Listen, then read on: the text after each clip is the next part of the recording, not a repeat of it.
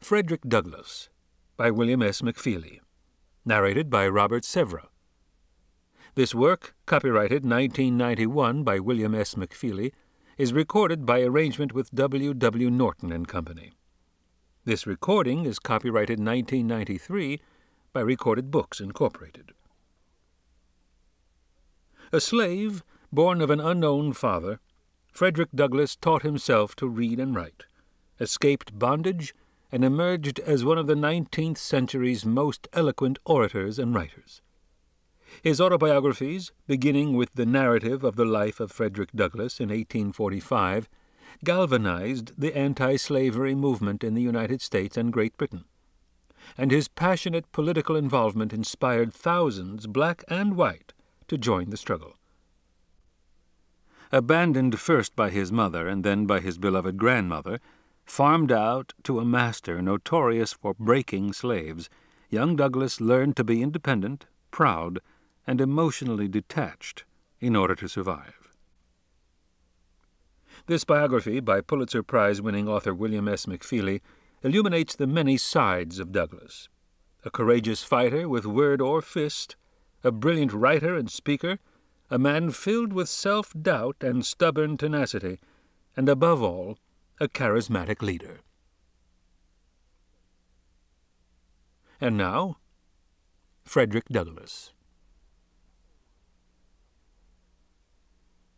Chapter 1 Tuckahoe The Tuckahoe is a quiet creek. Frederick Douglass, when he was a child, lived on its low banks. When he was a man, he walked boldly and talked clearly in a world noisy with hatred, but the country he first knew was tranquil. The eastern shore, the long peninsula that puts its back to the Atlantic and faces the great, broad Chesapeake Bay, is gentle wrested ruthlessly from the Indians in the 17th century, it had long been cleared and farmed when Frederick was born in February 1818. Streams, shaded with trees, divided the fields and flowed to join slow, meandering rivers that, in turn, met tidal waters reaching deep into easy terrain. Frederick's first home was a solitary cabin in the woods, bordering a brook that separated the farther fields of two farms owned by the man who owned him. But the boy knew nothing of being owned as he sunk his toes in the clay bottoms of the shallow pools over which skater bugs glided. Rabbits and deer invaded the fields from the woods, and turtles sunned on logs in the Tuckahoe into which the brook fed. The birds, in rich confusion, made the sounds of morning, one of the great sights came at migrating time, when ducks in flocks settled on the marsh-bounded water below the mill dam. This was Frederick's outdoors home. When he went indoors, his shelter was a cabin built with timbers cut from the woods, sheathed with the slabs of bark left when they were squared, and caulked and floored with clay from the brook. There was no being alone here.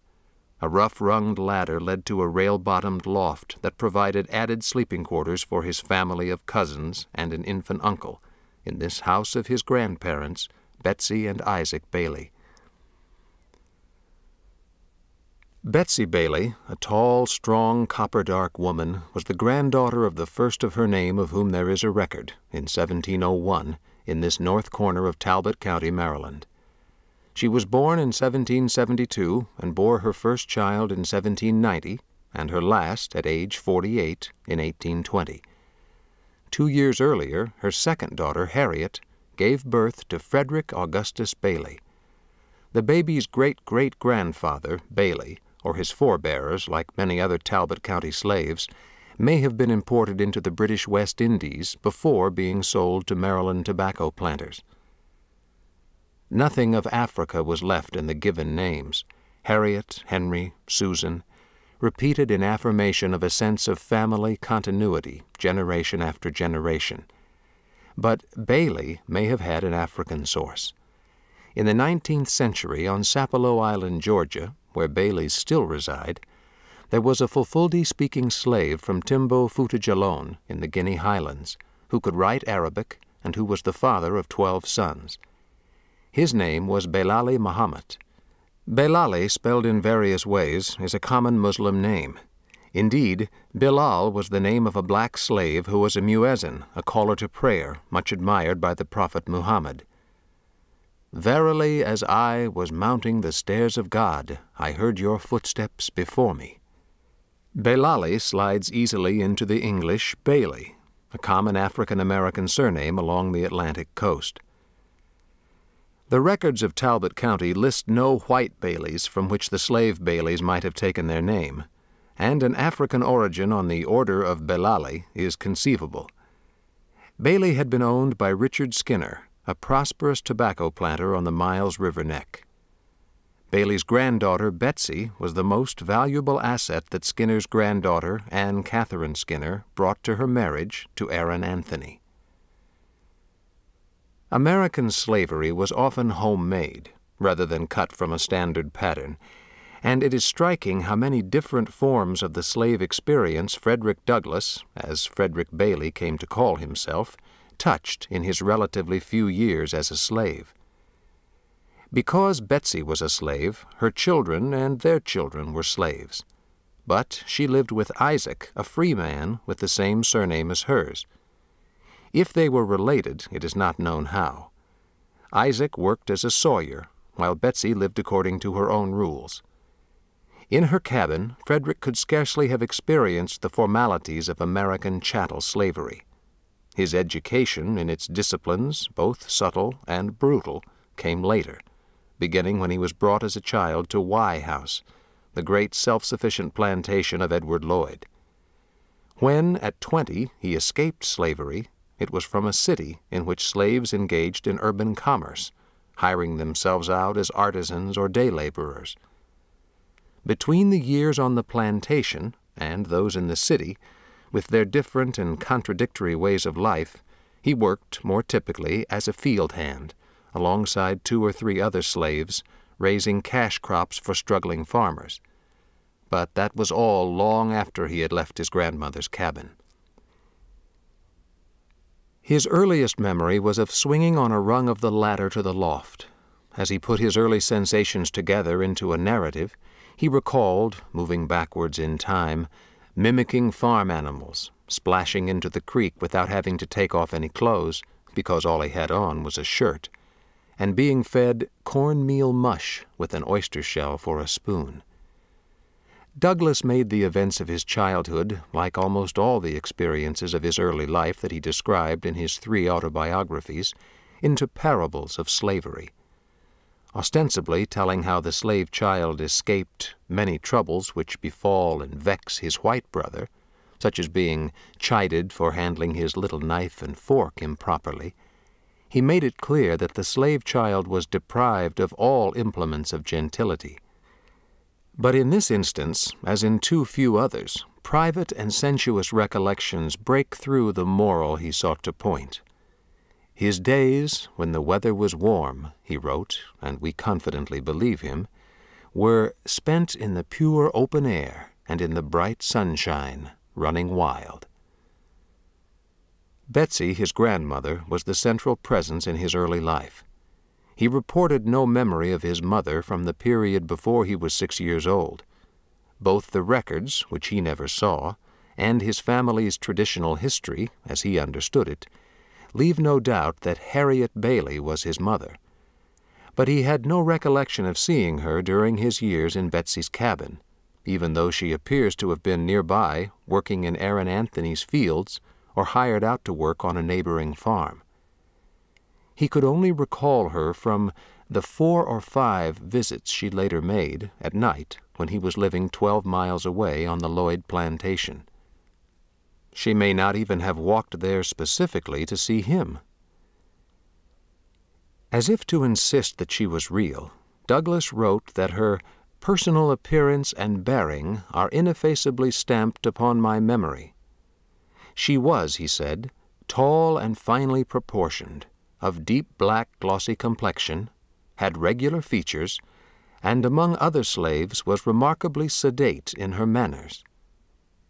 He chose to see her as grander than her peers.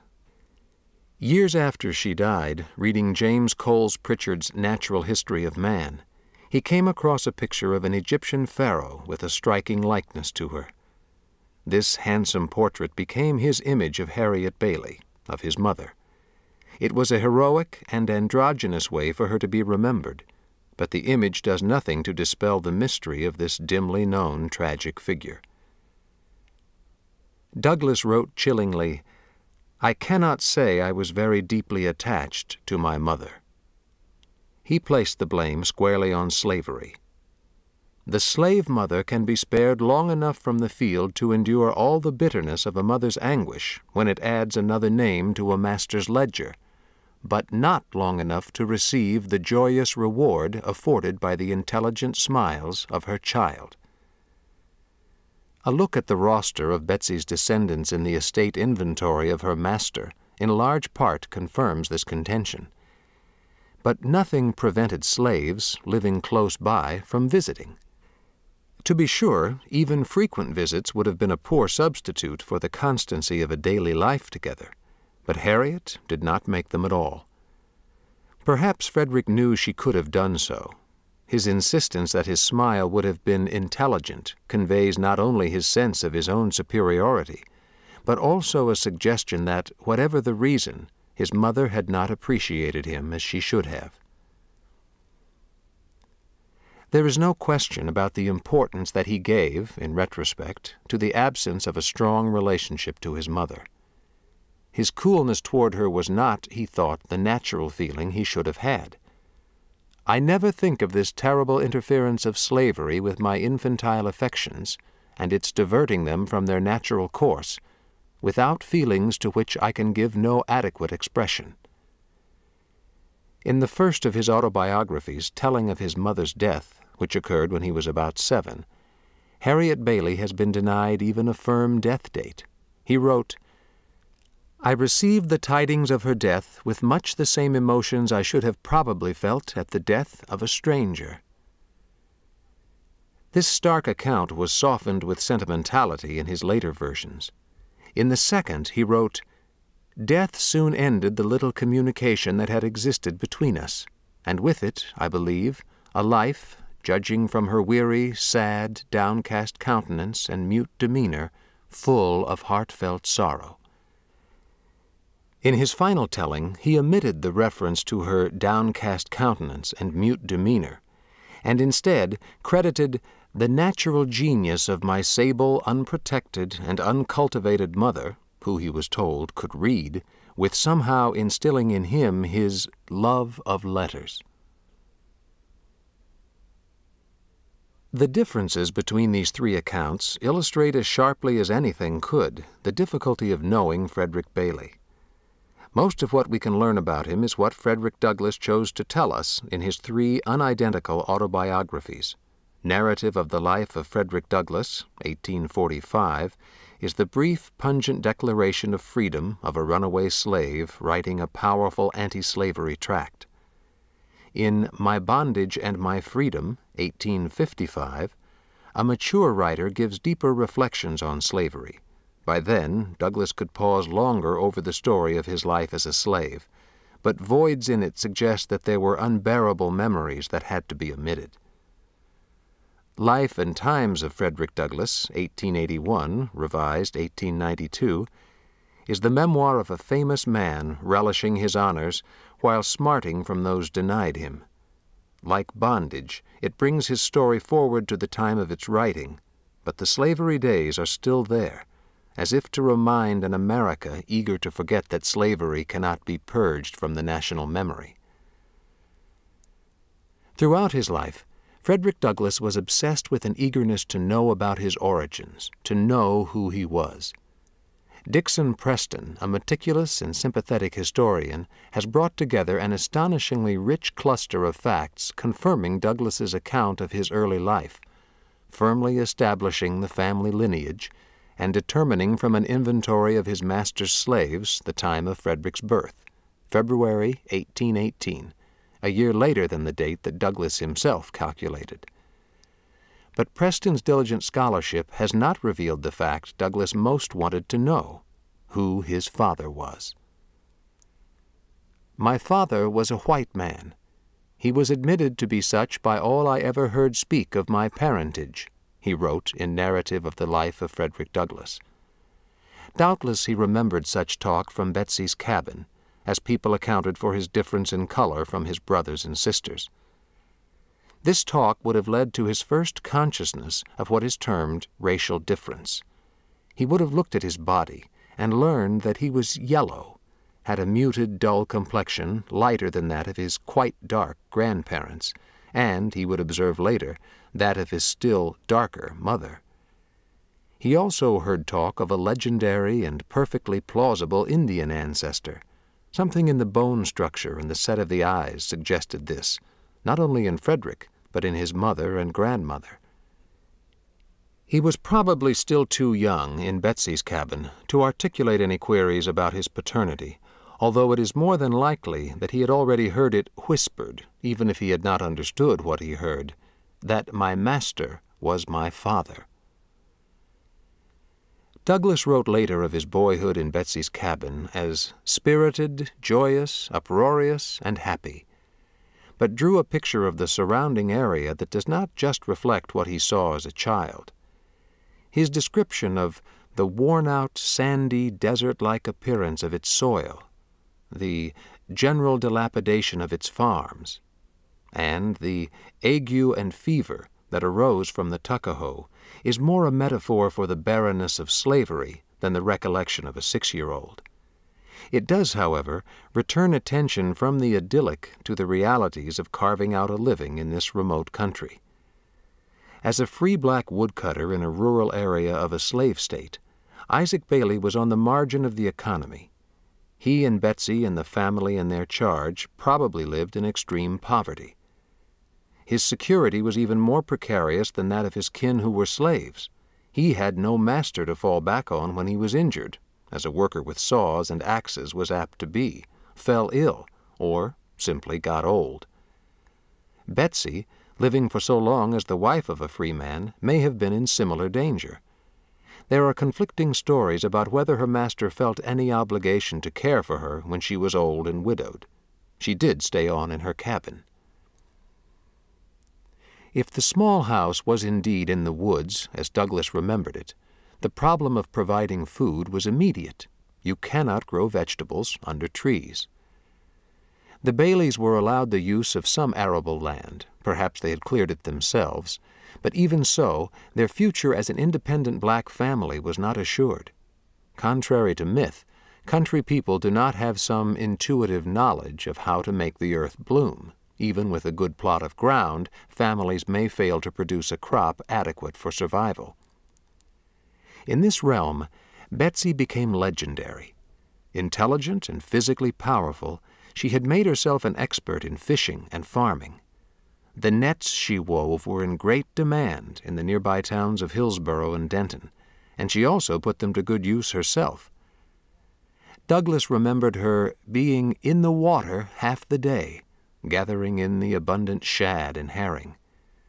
When spring came, she not only planted her own sweet potatoes, but was called on to help others in the neighborhood get theirs into the ground properly. At harvest time, her fork went into the ground so deftly that none of the crop was pierced and lost, and she had the foresight to put aside sound seed potatoes for planting the next season. As Douglass noted, her good luck was, in fact, her exceeding care in every step in the achievement of sufficient and nutritious food. Douglass's stress on the impressive competence of his grandmother in what might have been thought of as masculine functions, his ascription both to her and his mother of a bearing that would have fit men of dignity and accomplishment, is significant.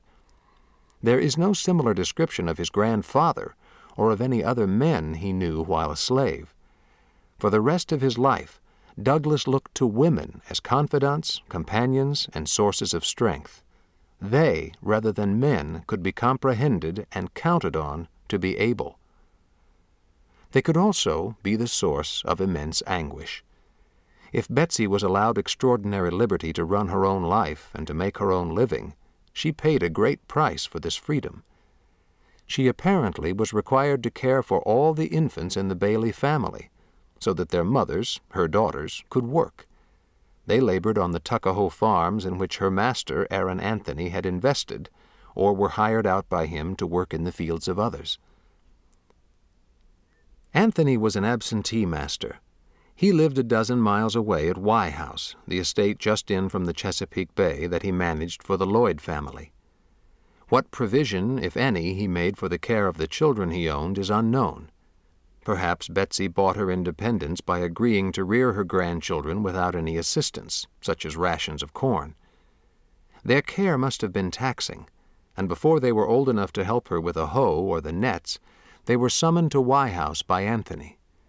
There they lived in Captain Anthony's house, or in quarters adjacent to it. Frederick's older brother and sisters, Perry, Sarah, and Eliza, and his cousin Tom, had already made this move. On a summer day in August 1824, when Frederick was six, he and his grandmother left the cabin, walked up to the crossroads, and turned southwest. The walk was long, much longer he soon learned than the one in the other direction, to Hillsboro, probably the only town he had been to. For much of the trip, his powerful grandmother must have had to carry the tall, heavy child. It may well be a mark of the austerity of Anthony's Tuckahoe farms that there was no horse the resourceful Betsy could commandeer for the day. Turning at one crossroads town, they walked between great fields, blanketed in heat, to reach another, and soaked in perspiration kept resolutely on through the Lloyds' long woods. Finally, having walked twelve miles, they came to Wye House. A generous lawn's width short of the long straight drive leading under great trees to the main house was a parallel road that led to the slave quarters. They took it. Through the trees between the narrow roads, Frederick could catch sight of the great house, and as the two of them came past, they reached their master's small, neat cottage and the quarters where their relatives lived. Looking off the other way across Long Green, they saw the broad stretch of the Wye River. Suddenly, the long, hot trek was over. Curious children came out to look over the newcomer and followed him and their grandmother into the kitchen, where the two got desperately needed drinks of water. Cautiously, Frederick agreed to go back into the yard with them, but he did not join in as they ran, laughing and yelling, around me.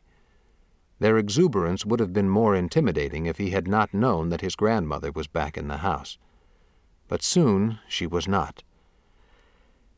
Taking what she saw as the least tormenting way to accomplish the parting she was resigned to, Betsy quietly left to walk the long miles back to Tuckahoe. When one of the children, with roguish glee, shrieked at him, Fed! Fed! Grandmammy gone! he fled back to the kitchen to find her. But she was gone. He rushed out to the road. She was not in sight, and he could not run down its emptiness alone. He threw himself on the ground and, crying, pummeled the dry dust. When his older brother Perry tried to console him with a peach, he threw it away. He was carried into bed and cried himself to sleep, and he never fully trusted anyone again.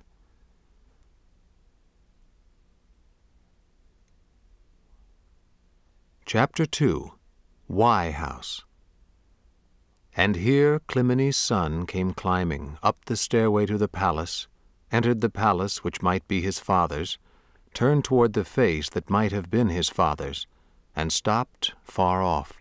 He could not bear that radiance. From the Story of Phaethon by Ovid, translated by Rolfe Humphries. With the resilience and wonder of a bright child, Frederick explored the world he had entered. At its center was a place so grand as to have been unimaginable back on the Tuckahoe, and despite warnings from Aunt Katy, the slave who had charge of him, he would not stay away. Wye House, its white assuredness reaching out to wide green lawns, faced the drive in from the eastern road and looked out privately at the back on the quiet splendor of a beautiful garden and an orangery. The curious boy could sneak up and, from behind a thick-trunked shade tree, watch people laughing and talking as they strolled in from the fine sloop Sally Lloyd, just arrived from Annapolis, or stepped down from a carriage from Easton and entered Edward Lloyd's house. He could see Colonel Lloyd, too, often busy and brusque, but sometimes stopping to notice and smile at a slave child. This man who ruled with unbridled authority over the domain in which Frederick Bailey now lived was the most compelling figure the boy had ever encountered. If Frederick Douglass, writing a book about slavery years later, had sought to construct an archetypal master of a great plantation, he might have taken as his model a grandee in New Orleans with a larger bank account, a Delta planter who owned more slaves, a South Carolinian with a more flamboyant house, a Virginian with a more celebrated name, but none of these creations would have stood taller than the Tidewater aristocrat of Wye House. In all the South there were not a hundred men who could rival Edward Lloyd of Maryland, and he would have deferred to none of them. Douglass did not have to imagine such a man when he wrote. He knew him. Edward Lloyd, though not Frederick's owner, was exactly the master Douglass's white anti-slavery readers wanted the pleasure of meeting and rejecting. He was privileged in ways they were not, and that privilege derived from the relentless exploitation of slaves. A former governor of Maryland and United States Senator, this Democrat advocated universal suffrage. His deep appreciation of American freedom was grounded in a slave labor system that had nurtured his own abundance of liberties. Northern opponents of slavery could see in Lloyd and his plantation the insidious best of the slave system. Immense wealth and its lavish expenditures filled the great house with all that could please the eye or tempt the taste, Douglass recalled over half a century later. Fish, Flesh and fowl were here in profusion wild goose, partridges, quails, pheasants, pigeons, the teeming riches of the Chesapeake Bay, its rock perch, drums, crocus, trout, oysters, crabs, and terrapin. The dairy, too, poured its rich donations of fragrant cheese, golden butter, and delicious cream. The fertile garden was not behind in its contribution of tender asparagus, crispy lettuce, delicate cauliflower, eggplants, beets, lettuce, parsnips, peas, and French beans. There were also figs, raisins, almonds, and grapes from Spain, wine and brandies from France, teas of various flavor from China, and rich aromatic coffee from Java. For Frederick, Wye House was both the palace of his imagining and the emblem of slavery's evil. The table of this house groaned under blood-bought luxuries. Behind the tall-backed chairs stood the servants. They resembled the field hands in nothing except their color, and in this they held the advantage of a velvet-like glossiness. The delicately formed colored maid rustled in the scarcely worn silk of her young mistress. Viewed from Colonel Lloyd's table, who could have said that his slaves were not well clad and well cared for? Who would have said they did not glory in being the slaves of such a master? Frederick Douglass saw Lloyd as a symbol of the slave system, but there was also a far more personal reason why he lingered long and lovingly over the shadow thrown on his childhood by this man. During Douglass's lifetime of imagining and attaining a world of grace and elegance, Wye House was the lodestar, and, in the richest of dreams, Edward Lloyd would have been the father for whom he was ever searching. Fifty-five years after Frederick Bailey left the Lloyd place, a famous Frederick Douglass came back to Wye House, and raising his glass to his hosts, Lloyd's great-grandsons, he trusted that God in his providence would pour out the horn of plenty to the latest generation. Douglass's eye was on the young Lloyds as he spoke, but he may have had his own grandchildren in mind. They could have had a common forebear. While a young child, at a time when the science of genetics was still a nicely distant discipline, Frederick had heard things whispered, and perhaps some unfunny jokes, about a white father. When he first wrote about himself in his late twenties, he said unequivocally that his father was white that this fact was admitted to by all, and that he had heard hints that my master was my father. This was precisely what an anti-slavery audience expected to hear, and taken literally, it pointed to Aaron Anthony, Frederick's and his mother's actual master, as the most obvious object of any speculation. A plausible possibility, too, was the Mr. Stewart to whom Anthony had hired out Harriet Bailey. But when Douglass spoke of his master in Narrative of the Life of Frederick Douglass, he was usually referring to Thomas Auld. His owner at the time he escaped. Auld, who was twenty when Douglass was conceived, learned to build and sail boats in the nearest boat-building town, St. Michaels, a short sail across the Miles River and up the Wye River to Wye House. There is no record of when Auld first came to Wye House with the sloop Sally Lloyd, which was built in St. Michaels. It's possible that as he crested into manhood and became the captain of the Lloyd's fine boat, one of those on which the plantation depended for social and commercial contact with the world, he may have been attracted to the handsome Harriet Bailey, even as he thought to court Lucretia Anthony, the daughter of Wye House's manager. And with both Harriet and Betsy absent from Wye House, it is equally possible that in all the years of Frederick Bailey's and Thomas Auld's complex relationship, neither of them knew for certain who Frederick's father was. Ten years after he spoke of his master as his father, Douglass wrote, I say nothing of father, for he is shrouded in a mystery I have never been able to penetrate. But he went on to repeat the whisper about his master. In his final telling of his story, more than a quarter of a century later still, he omitted any link to his owner and said simply, Of my father I know nothing. He craved that knowledge, but may have been wary of achieving it, lest the man prove to have been Aaron Anthony or someone even less glamorous or compelling. Douglass never explicitly said whom he most suspected to have been his father, but late in life he was still intrigued by the story of a slave son of Edward Lloyd's who was bitterly resented by a half-brother whom he clearly resembled. Occasionally, in an exuberant moment in an emotional anti-slavery lecture, Frederick Douglass would make Edward Lloyd into his master, and hence his father. As Oscar Wilde, for one, was aware, the imaginings of foundlings know no bounds. Those of mulatto slave children, with a myriad of conflicting clues to ponder, could be rich indeed. Isn't that leap of hair straight up from a wide forehead in the Wye House portrait mine as well? We do not know where Harriet Bailey was, or whom she was with at the moment of Frederick's conception, and it is unlikely that her son ever figured it out either. She was only infrequently at Wye House, but once there the handsome woman could have caught the lustful eye of Edward Lloyd, of one of Lloyd's two adult sons, or even of one of their grand guests. There's no reason to think that she did indeed attract Lloyd, there was every reason for her brilliant son to imagine such an occurrence. The Lloyds had been on the eastern shore as long as the Baileys, perhaps longer. They were Welsh Protestants who, taking advantage of Maryland's Act of Religious Toleration, had been planters since the middle of the 17th century. Five generations of the family lay buried in the graveyard close to the captain's house, Aaron Anthony's dwelling, built of brick from the Lloyds' demolished house of 1660. Edward Lloyd, master of Wye House, built in the 1780s, was one of the country's most expansive hosts. He was also the owner of an enormous agricultural enterprise.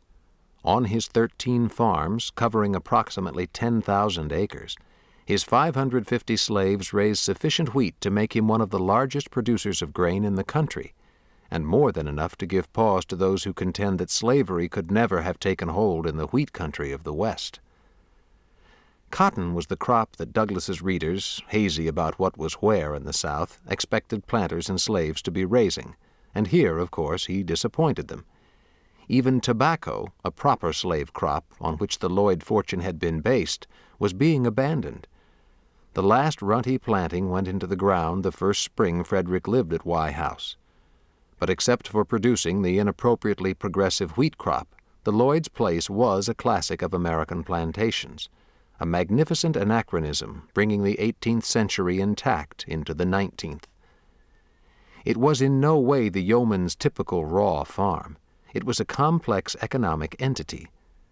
Lloyd took direct responsibility for its management, assisted by Aaron Anthony, hired to be his chief lieutenant. Next in command were overseers for each of the farms.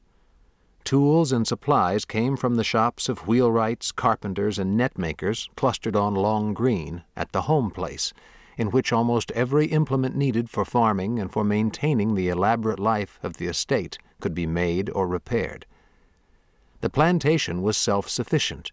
Only the luxuries, and they were many, had to be imported.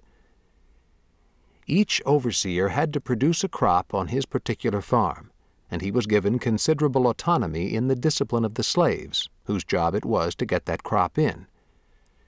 The overseer also had to keep the slaves busy, with no time to be restless, during the considerable stretches of the year when a wheat crop needs little labor.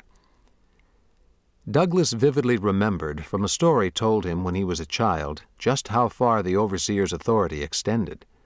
One of them, Austin Gore, was whipping a slave, Denby, and the man broke from the agony and splashed into a stream until the water was over his tortured back. Gore called to him three times to come back. Denby did not move. The overseer raised his gun, and red rings spread out over the water. Gore was promoted, transferred to the home place rather than penalized, but he was criticized all the same. He defended his actions on the grounds that whatever Denby's unspecified transgression, an example had to be set. But the shooting broke the code with which Lloyd maintained discipline on his farms. The most immediate and brutal permissible punishment was whipping, which Denby had known to the point of revolt. Neither the possibility that reports of such punishment were exaggerated nor the recognition that accounts of flogging were one of the most sought after forms of 19th century pornography, disguised in the plain wrapper of a call to virtuous anti slavery action, disposes of the fact that whippings inflicted on slaves prolonged pain, sometimes with permanent disabling after effects.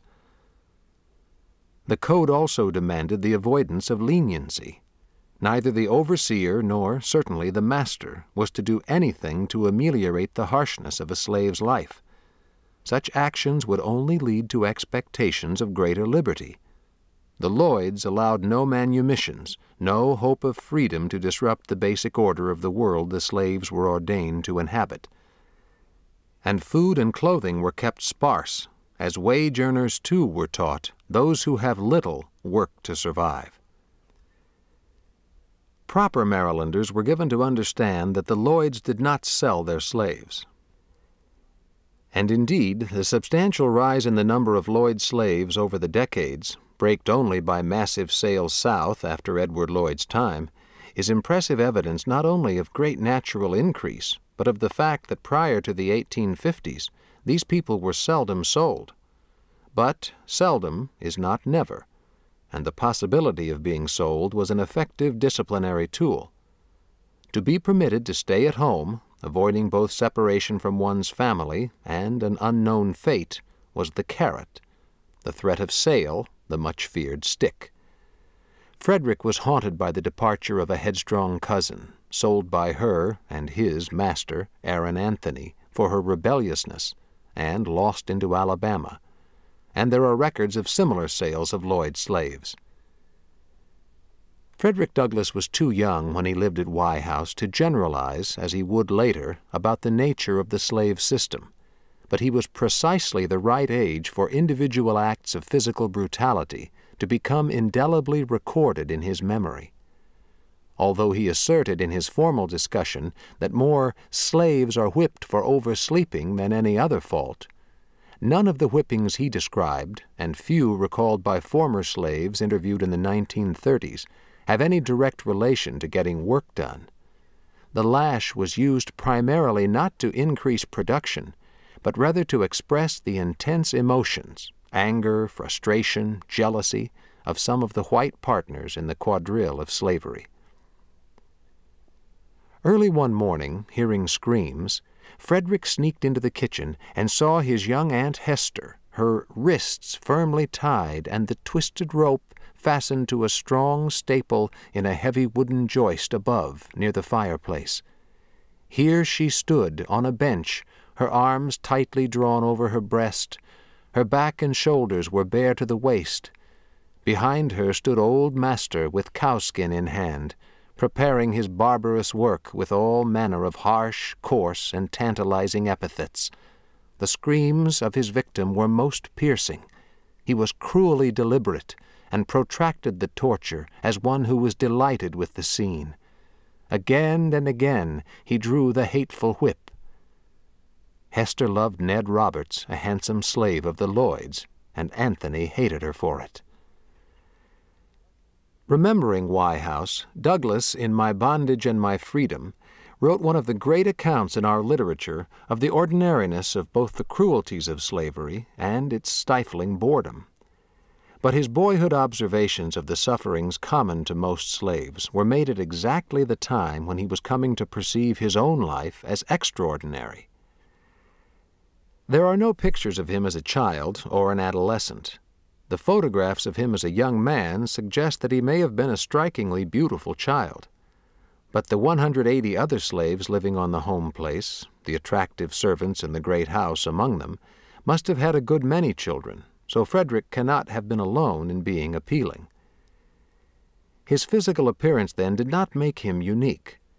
His extraordinary mental capacity, early in evidence, did. The first manifestation of intellectual prowess was his skill at mimicry, which stayed with him for the rest of his life and was the mainstay of a not very nimble sense of humor. Mimicry, like rhythm in their bones, is one of the stereotypic talents assigned to Africans by racist thinking. But stereotypes deserve scrutiny rather than embarrassed dismissal. Copying sounds, a fundamental mode of learning, was one of the very few available to the slave. It's not surprising that Frederick was adroit at imitating both the farm animals in the barn and the social animals in the house, nor that many observers noted similar abilities in slaves across the South. Frederick used his skill as a base for what became a beautifully structured intellect. Others were denied the chance to achieve that progression. Many people, blocked as Douglass was not, mocked those who held them in slavery by imitating them with a pungent wit that often, in hints, got back to their victims in ways that made them both wary and uncomfortable. Fortunately, science has not yet imposed on us an explanation of the source of fine minds. Curiosity is still free to roam, and in the case of Frederick Douglass, whether we look to genes, to environment, or to good luck, we find Betsy Bailey. This extraordinary woman was unlettered, but evidently possessed a mind capable of making finely logical connections. She was an ideal respondent to all of the why questions her intensely curious grandson must have fired at her. Douglass proudly claimed that his mother was literate. If this was so, Harriet Bailey's intellectual achievement, like Frederick's, probably owed much to the encouragement of Betsy, who could so intelligently read a river or the furrow of a field. Twelve miles away from Betsy's cabin, in the Anthony house, Frederick's brightness caught the attention of two other women Aunt Katy, the cook in charge of the children, and Lucretia Anthony Auld, Anthony's daughter. Their responses could not have been more opposite.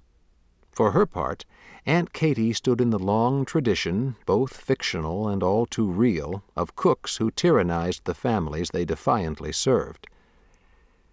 A member of the other of the two slave families owned by Aaron Anthony, she was only a distant relative of Frederick's. The title aunt was one of respect, or dread. Women and men who presided over critical plantation enterprises, like the laundry sheds, carpentry shops, and harness rooms, were called aunt and uncle, often by their owners, and always by the younger slaves, who cherished an African tradition of grave decorum and deference to those older, wiser, and in greater authority than they. Katy's particular authority, if limited, was great. As Douglass put it, what he, Anthony, was to Colonel Lloyd, he made Aunt Katy to him. She ruled Anthony's household with an iron hand. Ambitious, ill-tempered, and cruel, she was responsible not only for her children, but for the young Baileys in the Anthony household. To preserve the importance of her small domain, she did not permit them to stray from it and associate with the Lloyd slaves.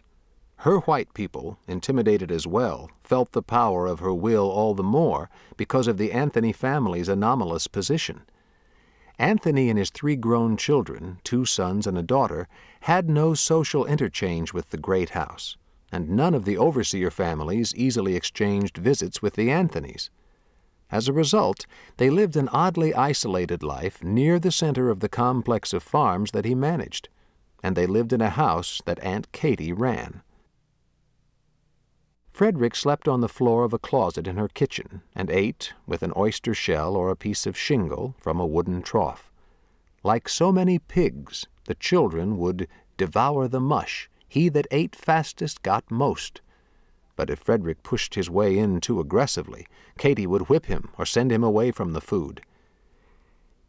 When Frederick, at six, moved into the plantation manager's house, Aaron Anthony, 57, had been a widower for eight years and, as Dickson Preston has shrewdly deduced, was probably undergoing not only physical disintegration, but diminishment of his mental powers as well.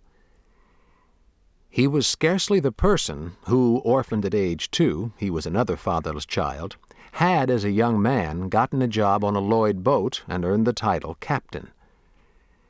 Anthony had courted a planter's daughter, Anne Catherine Skinner, married her when she was pregnant, and soon after became the manager of the Lloyd estate, a post he held for a quarter of a century. When Anthony, the viceroy, rode out each day to administer the Lloyd realm, he left his house in hands even more imperious than his own. Aunt Katy had a strong hold upon old master, Douglass recalled. She was a first-rate cook and very industrious. She was also dangerous. On one of her rare visits, Harriet Bailey discovered that her son had gone a full day without food. Asked why, Frederick replied that Aunt Katy had said she meant to starve the life out of me. With fiery indignation, Harriet ordered Katy never to do this again, and right there in the tyrant's own kitchen she made her son a sugar cake. At last he was somebody's child, sitting on his mother's knee eating the cake. He was a king upon his throne. But my triumph was short. I dropped off to sleep and woke in the morning only to find my mother gone. It was the last time he saw her. His mother's intercession did not endear him to Aunt Katy, and neither did the interventions of the woman who was nominally her mistress. Lucretia Auld, young and still childless, was allowed by Katy little to do in her father's house. Finding Frederick an engaging companion, she made something of a pet of him, and when she too discovered him to be hungry, she got food to the child, thereby increasing Katy's ire. Katy had in some way twisted her resentment of a cheating world into an almost pathological need to abuse Frederick. She wanted no one in her charge to outstrip her own children or herself in importance in the household. It was as if by withholding food she was starving a rival into puniness and insignificance. The person for Lucretia to turn to in seeking help for the boy should have been her father, his owner but such a request would have been at once inappropriate and awkward. She must have known that Frederick was rumored to be Anthony's son, so she would have been interceding for a child who could have been her brother, but whose possible kinship would never have been discussed openly within the family. Whatever were her entreaties, they failed. Anthony did not prevent Katy from harassing the boy. Despite Katy's tyranny, Frederick went off on adventures of his own. Katy ordered him to stay away from the Lloyd slaves, who, being from the great house, may well have regarded her with less respect than she thought her due. Frederick disobeyed. The garden was enticing, and the orangery was full of exotic trees bearing strange fruits. But the house itself, back across the garden, and the graveyard, was more compelling still. In time he did gain entry, and he was not smuggled into the kitchen by a Lloyd slave for a backstairs peek. Instead, Daniel Lloyd, a son of the house, took him inside and into the front rooms. One of the wonders of the world of American slavery is that before puberty, the children of the slaves and those of the masters were often allowed to play together. In the grander establishments, a white family might arrange for a young slave child to be simultaneously an always available playmate and a step and fetch it servant. Daniel, laden with privilege, may have been almost as lonely amidst the crowd of people at the great house as Frederick was. Far younger than his siblings, he had no peers. The nearest neighbors of the Lloyds rank, if any there were, were miles away. The boys surely could not play with the children of the overseers. The only appropriate companion, paradoxically, was a slave, who could present no threat of encroachment on Lloyd's superiority, since his position was unequivocally fixed. Although Daniel was five years older than Frederick, the two boys probably achieved their friendship on their own. For Aaron Anthony to have suggested Frederick as a friend for Daniel would have been outside the limits of his relationship with Edward Lloyd. Lucretia, although living only yards away, probably never exchanged more than a nod with any of the women of the Lloyd house. Had the Lloyds been seeking a slave child for their son, they would have looked to the children of their own house slaves. Instead, it was Frederick who played with Daniel. We know that Daniel went shooting, while Frederick, and presumably a good dog, retrieved the birds. The boys' intimacy must have extended far below such hunting print surfaces, but nothing is harder than friendship to write about. In his writings, Douglass never more than hinted at the meaning of his short, close association with Daniel Lloyd and, like Benjamin Franklin before him, as a writer of moral tales, Douglass never allowed himself to report an encounter in which he saw no value. But his books are full of hints of the rich lore banked during his days with Daniel Lloyd. First in worth was the voice he chose. With a child's exuberance, Frederick already could use the local tongue to gain the attention and admiration, and sometimes the resentment, of anyone he met. But he was coming to know that he would want to talk to a world beyond Talbot County, with a tone and a diction other than those of the county and the slave, and the manner of speech most readily available for the taking was that of Massachusetts. The Lloyds had hired a tutor, Joel Page of Greenfield, Massachusetts, to educate Daniel. The young gentleman had to be taught to read and write, to calculate, and, though speech was little discussed, lest it be thought not a natural skill, to speak in a cultured way. A Lloyd could not sound like the county, like a slave. Page, a lonely middle-aged bachelor in an anomalous social situation, coped with the phenomenon of slavery by studiously avoiding the slaves. Sitting alone in the garden, he rebuffed even Frederick, who, undeterred, imitated the patterns of speech Page was teaching Daniel and those he heard from other cultured white people. Frederick had chosen to sound like the people of the great house. He chose as well to know about them. He missed nothing as he and Daniel roamed the house when they were not banished from the scene because of the Lloyds' almost ceaseless entertaining and he pressed Daniel relentlessly for details. Who was coming on the Sally Lloyd for the week? Who was sleeping in what room? What were the big square silver dishes used for? What did people say at the table? What was a governor? A senator? He was ceaselessly curious about this world from which he was excluded. For the rest of his life he resolutely resisted this exclusion, but he seems to have taken it as a challenge rather than something to resent without hope of overcoming. Had the Lloyd play stood on the other side of the Chesapeake, it could have been the plantation that supported and endured that smooth white house, and that smooth white brass decorated door, and the very broadcloth and linen and silk stockings the monkey nigger stood in to tell him to go around to the back. Faulkner's Thomas Sutpen turned away from that door, full of fury and a passion for revenge, determined, in the greatest of Southern novels, Absalom, Absalom, to create a new world for himself. Frederick Bailey had a not altogether different quarrel with that closed door. He would in time turn away from it and toward the realities of 19th century America in order to create a new life for himself.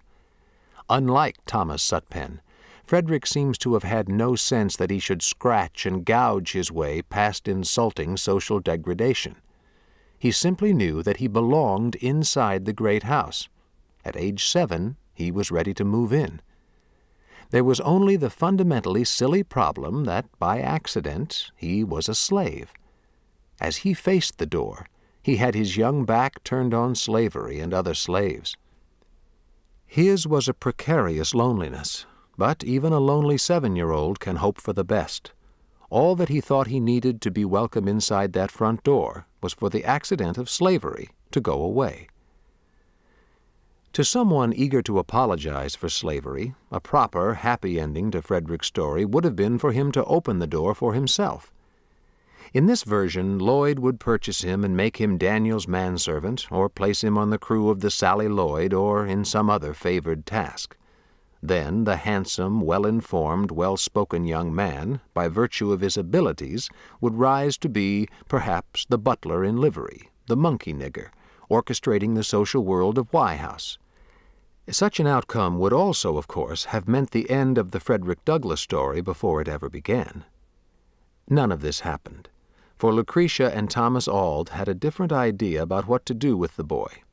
Indeed, the two Aulds, soon joined by Thomas's brother and his wife, entered Frederick's life in a way that was to have immense ramifications not only for him, but also for the abolitionist movement and for the nation's concept of what slavery was like.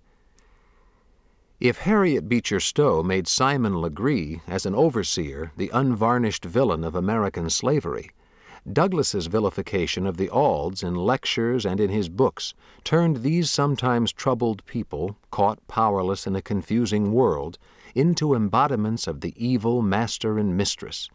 And yet his attacks on them only partially disguise his complex and ambiguous relationship to all four.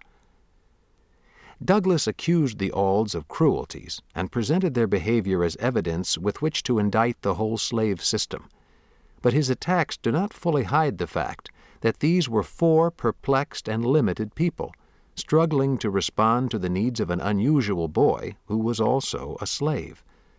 Somehow, that boy had made them feel that he must be specially provided for, but the society in which they lived, in which slavery was so firmly fixed, gave them no satisfactory room in which to do so.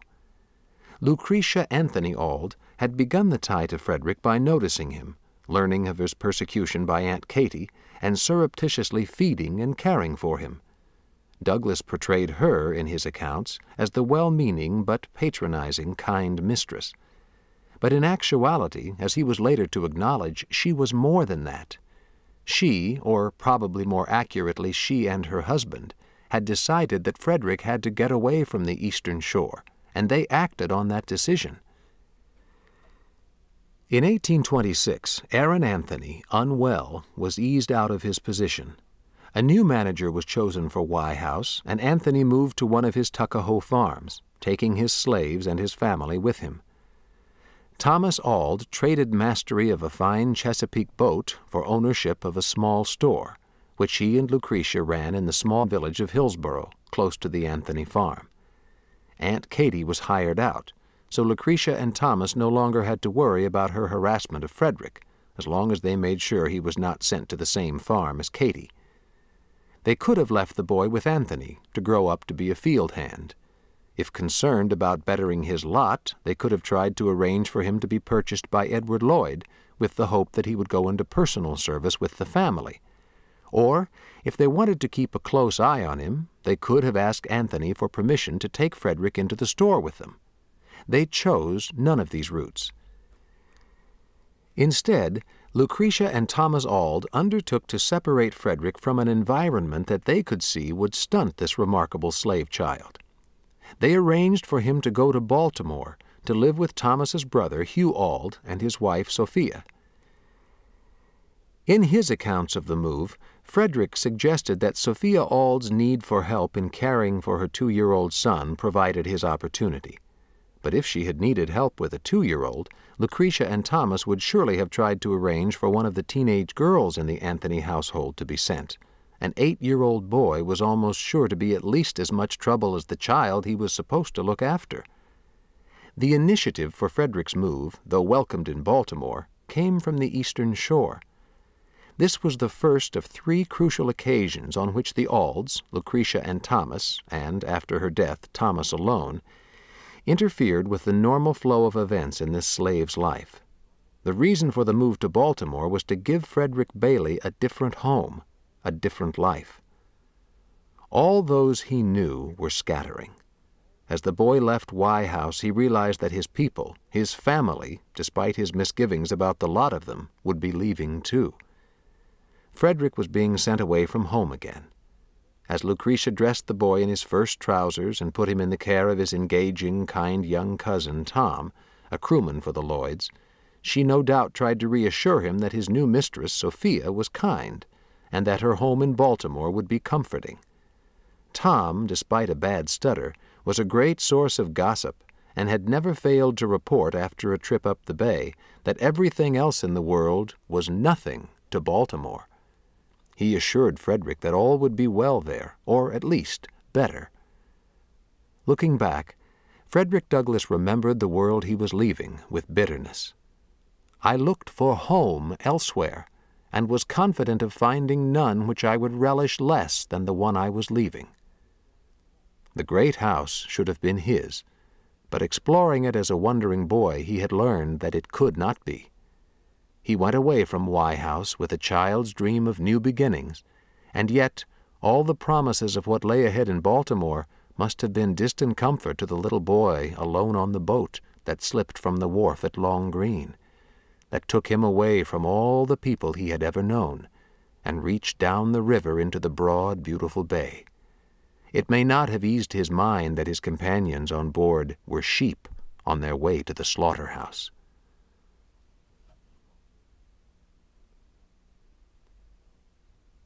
Chapter 3 Fells Point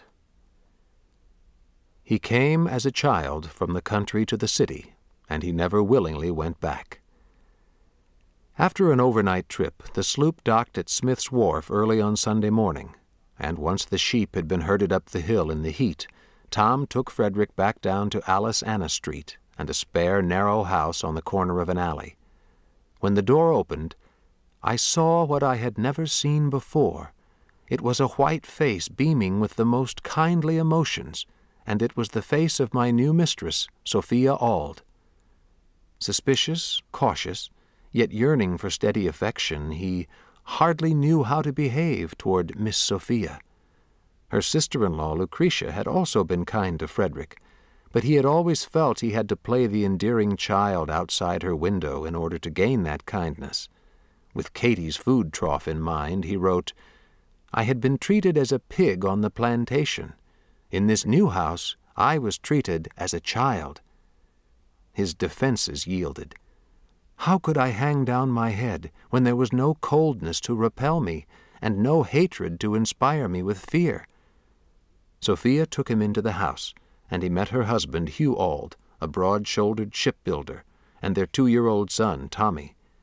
The little one was told that this was his Freddie, Frederick was to look after him, a task that initially consisted largely of seeing that he did not toddle into the street crowded with wagons carrying cargoes and fittings for the ships at the docks close by. The Aulds lived in Fells Point, Baltimore's busy shipbuilding center on the east side of the harbor. Baltimore was one of the nation's major ports. From here, foodstuffs were shipped to Europe, and into the port came not only cargo, but great numbers of immigrants. Frederick's new home was inviting, and he welcomed the changes in his life. His tow shirt, in the city he would have to learn to be embarrassed when it flew up as he ran, was replaced with pants and a tuck-in shirt. Instead of a grain sack to pull around himself on cold nights, there was a good straw bed, well furnished with covers. And instead of cornmeal mush, or worse, dry cracked corn, there was bread. But more critical than these dignities and comforts was the natural and spontaneous warmth of Sophia Auld, who brought him into a family. If little Thomas was her son and her most dearly beloved child, she, for a time at least, made me something like his half-brother in her affections. Frederick soon learned to regard her as something more akin to a mother than a slave-holding mistress. Sophia Kitely came from a poor family near St. Michaels. She is reported to have worked for wages as a weaver before marrying Hugh Auld and moving with him to Baltimore. It is unlikely that she had much education, but as a committed Methodist she was devoted to her Bible and labored to read from it. As she sat with Tommy on one knee and the book on the other, she drew Frederick to her side and read, or told, its stories to both boys. After more than a year in this calm and comforting household, in which he was almost part of the family, the slave boy was wrenched away from Sophia and sent back to the eastern shore. Aaron Anthony had died in November 1826. Since he had left no will, his property was to be divided equally among his daughter, Lucretia, and his two sons, Andrew, an alcoholic, and Richard, an unsuccessful farmer. Before the settlement but after her husband's legal claim to her share was secure, Lucretia died. Her widower, Thomas Auld, was to receive her portion. In October 1827, Hugh Auld was instructed to send Frederick back to the Tuckahoe farm, where all of Anthony's slaves, as capital goods, were to be assembled and distributed in the settlement of the estate. It was a sad day as Frederick in his city clothes was put aboard a wide, shallow draft sloop that took him down the bay and then slowly up the Choptank River and into the shallow Tuckahoe Creek. He had left, in a sense, a mother and a brother. We all three wept bitterly to go back to the place of his earliest recollections. He arrived to find himself in the midst of a cruelly convened family reunion, and in his case the usual, my, how you've groans, translated into, My, how Freddie has changed. Now, even more than when he had been in Katy's kitchen, this particular Bailey was different. Different and lucky, and once more his luck held. Despite his city ways, he managed not to provoke Aaron Anthony's drunken son Andrew into an attempt to beat him into his place. Instead, Frederick was the observer, forced to see his brother, Perry, thrown on the ground by Andrew and kicked in the head so hard that blood ran from his ear and nose. This brutality, rather than drawing him closer to his doomed siblings, somehow separated Frederick from them. His older sisters, Sarah and Eliza, who, like Perry, had been at Wye House with him, as well as his younger sisters, Kitty and Ariana, whom he had last seen when he left their grandmother's cabin, were like strangers to him Perhaps to ease a sense of guilt, perhaps because he believed it to be true, he later reckoned that because he had known what it was to be kindly treated, he felt the terror of the distribution more acutely than they did. Douglass did not reckon with the possibility that the others simply had not been able to articulate the terror as he later did. Indeed, he left the impression that those who are hit the hardest do not feel the hurt. He did see one relative as an exception to this dubious proposition. His grandmother was special. In 1845, when Douglass first wrote, with deep feeling, of her being left behind alone in her cabin to be old, to die, he did not know whether or not she was still alive. And when he bitterly chastised her master for abandoning her to isolation, he may have been chastising himself for not being there to care for her. What he did know was how terrible was the sum of her long life. Before she died in 1849, nine of her children, grandchildren, and great grandchildren had been sold south, and thereby more poignantly lost to her than were those who had died. And back on October 18, 1827, after weeks of frightening uncertainty, she and her children and grandchildren were lined up on Aaron Anthony's farm while two lawyers, coldly conscientious, checked lists of names and assigned valuations and distributed the people among the three heirs. At this crucial moment, these slaves were the property of something worse, because unknowable, than a master. They were owned by an estate.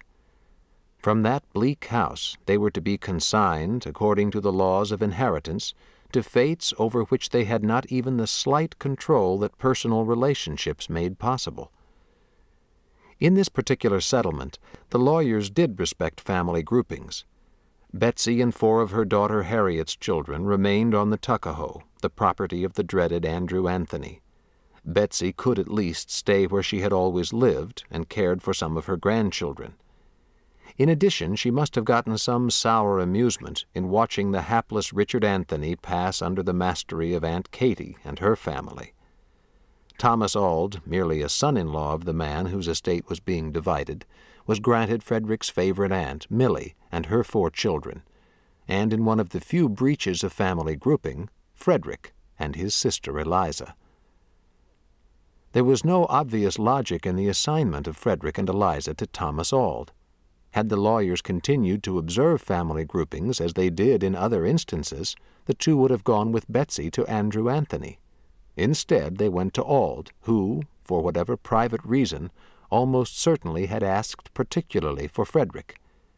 By so doing, he saw to it that he and not his inept and callous brothers-in-law would own Frederick, and then, to the boy's immense relief, he completed the rescue by sending him back to the mothering home of Sophia Auld in Baltimore. For a second time, Auld had interceded in Frederick's behalf. For the next five and a half years, for the rest of his childhood, Frederick was the light-colored slave boy living with a family that owned no slaves. Wildly curious, he had to confront what it was to be a person who was called black, though he wasn't, and who was owned though his owner was far away. He was living in a city completely removed from his early surroundings, the home clung to by slaves who, like his grandmother, found solace in their immediate world and knew no other sanctuary. Save for an occasional report from a slave seaman in from the eastern shore, and huge quantities of gossip did cross the bay, he was entirely isolated from all his blood relatives. Frederick Bailey was alive and alert in a household that gave him the security and a neighborhood that gave him the stimulation he needed to expand his wonderfully curious mind. He could run in the streets, watching the older boys while dodging their taunts, and return to a house that was a haven of cheerful affection. Sophia sang hymns as she worked. The two boys tumbled around her, singing snatches of the songs in imitation of her. Frederick began paying strict attention when she read to them from the Bible. In later years, acutely conscious of the process of his education and perceptive in his remembrance of it, Douglass recalled being fascinated by the relationship between the words coming from her mouth and the marks on the pages of the book she held. He was curious about this mystery of reading, and frankly asked her to teach me to read. Sophia, drawn to his quick mind, and perhaps intrigued by the thought of testing the educability of an African child, began to do so. Soon he could read memorized passages on familiar pages. Without knowing exactly what she was doing, Sophia Auld began the end of slavery for this particular slave. Perhaps not entirely unwittingly, although she surely would not have thought about her actions in the way scholars of slavery have done since, she was a dangerous subversive. She undercut the fundamental psychological discipline of slavery, and thereby raised the expectations of a slave to a point beyond which bondage was not endurable. In the most comforting of ways, she destroyed the slave boy's comfort. Proud of her accomplishment, Sophia called on Frederick to show her husband what he had learned. To her dismay, and indelibly to Douglass's, Hugh Auld was not delighted with the boy's display of intellectual promise. He understood, if his wife did not, just what a dangerous pursuit she had been engaged in, and exploded with what Douglass shrewdly called the first anti-slavery lecture to which it had been my lot to listen. As Douglass recalled it, Auld said, If you give a nigger an inch, he will take an ell. He should know nothing but the will of his master and learn to obey it learning would spoil the best nigger in the world. If you teach that nigger how to read the Bible, there will be no keeping him. It would forever unfit him for the duties of a slave. And learning would do him no good, but probably a great deal of harm, making him disconsolate and unhappy. If you learn him how to read, he'll want to know how to write, and this accomplished, he'll be running away with himself. Hugh Auld knew what he was talking about. Looking back, Douglass described this discourse as oracular. It accurately predicted his future. But the time was still a long way off when he would seize the chance, in Auld's splendid phrase, for running away with himself. When Frederick was nine, and again when he was twelve, Baltimore was the scene of legal actions involving white men who had insulted each other. The disputes were of seemingly small importance. In the first instance, one party was knocked to the ground and the assailant was fined one dollar. In the second, the man who had done the insulting was jailed, but his punishment was not fierce. The prisoner took his meals with his jailer's family. Yet these quarrels reverberated down through our history. The man knocked to the ground was Benjamin Lundy. The man put in jail was William Lloyd Garrison. The men with whom they had their disputes were slave traders. The subject of the disputes was slavery. Austin Woolfolk was a prosperous Baltimore merchant whose place of business was on Pratt Street. Like other businessmen then and since, he was eager to be regarded not only as successful, but also as benevolent. In his advertisements, he stressed his discretion and kindliness. Woolfolk was a slave trader. The Maryland economy was changing. There were fewer and fewer huge slaveholding enterprises like Wye House. Landowners were looking for non agricultural sources of income, which, it turned out, were not dependent on slave labor. It was not considered good form for Marylanders of substance to mistreat their people by dividing families, but it was even worse form to slide down the ladder economically. The landowners sold certain assets, slaves, in order to invest in others, mercantile or manufacturing enterprises. The Maryland archives record hundreds of sales of slaves, then in great demand in the cotton belt south and west of Maryland. Frederick's Aunt Mary Ann and his cousin Betty were sold south in 1825, for example. That year, Talbot County slave owners received $22,702 from sales of their people to Woolfolk alone. They made their sales discreetly, but they made them. In 1827, Benjamin Lundy was indiscreet.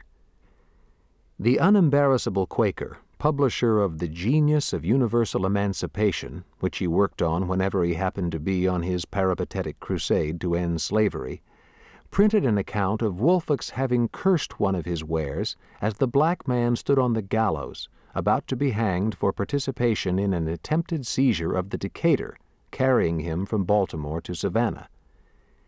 In his narrative, Lundy called the slave trader a monster in human shape the merchant sought out the editor and knocked him to the ground. Picking himself up, Lundy did not strike back, but instead went to the courthouse and sued Woolfolk for assault. After many delays, a judge levied a fine of one dollar, saying Woolfolk had been greatly provoked. A year later, in Boston, Lundy described the incident and the ugliness of the slave trade to a group that included another editor, the conservative young William Lloyd Garrison. Garrison later credited his commitment to the anti-slavery cause to this meeting with Lundy in the boarding house at which they were both staying. Soon he was attacking slavery in his Vermont newspaper. Impressed by his convert, Lundy walked from Baltimore to Bennington in the winter of 1829 to persuade Garrison to join him in Maryland. The following summer, Garrison did come to Baltimore, the city where his mother had lived briefly and died. He and Lundy stayed at a boarding house on Market Street run by two Quaker ladies. Garrison soon met Jacob Greener, John Needles, and William Watkins, anti-slavery leaders in the black community. Immediately, the two editors began to take as their primary target in the genius of universal emancipation the locally hated slave trade that resulted in the sale south of slaves who, in Baltimore, held hopes of entering the growing and articulate free black society. Their most sensational attack was on two New Englanders, Francis Todd and Nicholas Brown, the owner and captain, respectively, of a Newburyport ship, the Francis, then conveying 85 slaves sold by Woolfolk from Maryland to a plantation on the Mississippi River south of New Orleans, the site of the most dreaded slave markets. Todd and Brown sued for libel, and Garrison, as author of the piece, which was no more offensive in its rhetoric, domestic piracy, horrible traffic, than the typical campaign invective of the day, was fined $50. And when he did not pay the fine, he was sent to jail, and from his cell skilfully assailed slaveholders everywhere. Eager to quell this incipient and effective martyrdom, Garrison's jailers released him after 49 days. The publication of his new newspaper, The Liberator, followed, beginning on January 1, 1831. In the first issue, announcing as his goal the abolition of slavery, Garrison proclaimed, I will be heard, and he printed his account, along with documents from the case, of this his first major action directed towards his goal. Frederick Bailey had been listening to words like abolition and slavery for a long time. They were in constant, if surreptitious, use in the black community. Frederick knew that he was a slave and would be one all his life. He had learned those facts by talking to people. But he began to know that there were other ways to learn things. He began to read. At first, he had recited words from the Bible as he read along with Sophia. Down at the shipyard, he watched as men put boards marked LF on one particular side, his left hand side, of the front of the craft they were building. Boards marked with other letters went consistently to other parts of the ship. When he was about eleven, he began to recognize that letters could be joined to form words, which designated objects and actions. He matched the shipyard letters to those in the front of the Webster's spelling book that Tommy brought home from school and learned to write from memory all the letters of the alphabet. On Monday afternoons, when Sophia went to her Bible class and left him in charge of the house, he surreptitiously got out Tommy's copybook and began writing the words that he could now spell. He was curious about his world, and curious most of all about what it meant to be a slave in that world. Ever since Wye House, he had known that slavery was something unfair and that the unfairness was bad and should be ended. I was eager to hear anyone speak of slavery. Every little while I could hear something about the abolitionists. It was some time before I found what the word meant. It was always used in such connections as to make it an interesting word to me. If a slave ran away and succeeded in getting clear, or if a slave killed his master, set fire to a barn, or did anything very wrong in the mind of a slaveholder, it was spoken of as the fruit of abolition. Hearing the word in this connection very often, I set about learning what it meant. The dictionary afforded me little or no help. I found it was the act of abolishing, but then I did not know what was to be abolished. Here I was perplexed. I did not dare to ask anyone about its meaning, for I was satisfied that it was something they wanted me to know very little about. One day, probably when he was as old as thirteen, he was reading a newspaper about petitions in Congress praying for the abolition of slavery in the District of Columbia. Suddenly he knew what the word abolition meant, and from that moment on he always drew near when that word was spoken expecting to hear something of importance to myself and fellow slaves. In 1841, Douglass told an anti slavery audience of reading a speech by John Quincy Adams presenting petitions to the House of Representatives for the abolition of slavery in the District of Columbia. He remembered, too, reading the speech aloud to other slave boys. It was something he could talk to them about, and it gave him hope someone wanted to do something about the situation in which they were caught. There were also suggestions that he had better not wait for that something to happen. I went one day on the wharf of Mr. Waters, and seeing two Irishmen unloading a large scow of stone or ballast, I went on board unasked and helped them. When we had finished the work, one of the men came to me, aside, and asked me a number of questions, and among them if I were a slave. I told him I was a slave, and a slave for life. The good Irishman gave his shoulders a shrug, and seemed deeply affected by the statement. He said, It was a pity so fine a little fellow as myself should be a slave for life. They both had much to say about the matter, and expressed the deepest sympathy with me, and the most decided hatred of slavery. They went so far as to tell me that I ought to run away and go to the North, that I should find friends there, and that I would be as free as anybody. I, however, pretended not to be interested in what they said, for I feared they might be treacherous. White men have been known to encourage slaves to escape, and then, to get the reward, they have kidnapped them and returned them to their masters. Frederick Bailey had gained an important idea for the future. But boys don't live in the future, and there was a lot of life, rough and immediate, in Fells Point. All too often, the two constables were called to log in another body fished up from under one of the wharves, and the night watchman had to be eluded as he patrolled the docks. Boys trailed along after seamen just come ashore, trying to catch some of their swaggering worldliness. As Frederick grew, he began to do more than just watch. Sixty years later, he wrote to Benjamin Auld, Tommy's younger brother, reminiscing about Sundays spent with the Point boys fighting at the old drawbridge with the town boys, who had come over to try for their share of the excitement on the docks.